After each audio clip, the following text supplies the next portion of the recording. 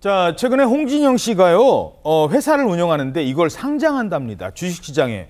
근데 일각에서, 어, 글쎄, 좀 무리하냐? 이런 지적이 나오고 있다고요? 어, 지난 2018년부터 이제 순차적으로 한 화장품 브랜드 두 개를 이제 운영하고 있어요.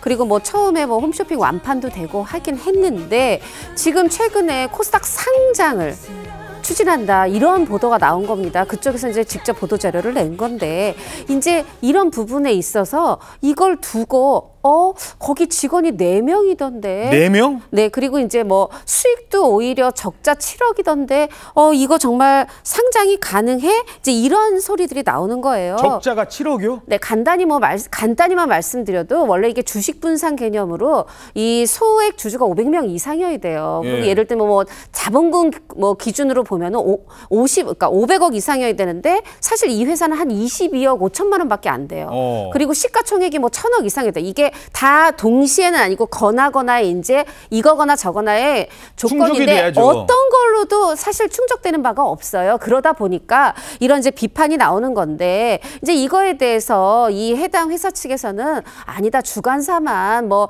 선정한 거다. 2026년 하반기를 목표로 하고 있다. 뭐 이렇게 얘기를 하는데 이걸 두고 이제 누리꾼들이 얘기를 합니다. 아니 홍진영 씨가 이거 한다는 것도 문제지만 여기에 대해서 이 국내 유수의 증권사가 사- 이 주관사로 나서준 것도 문제 아니냐 뭐 이런 얘기도 있고 어떤 회사는 아니다 매출액 2억에 오히려 영업이 뭐 손해가 180억이 넘어도 상장되더라. 근데 이거는 우주 산업 관련 회사거든요. 그러니까 사실 좀 화장품 회사 비교하기는 어려운데요. 여러 가지 감론을박이 있다. 요 정도 말씀드릴 수 있겠습니다. 예, 알겠습니다.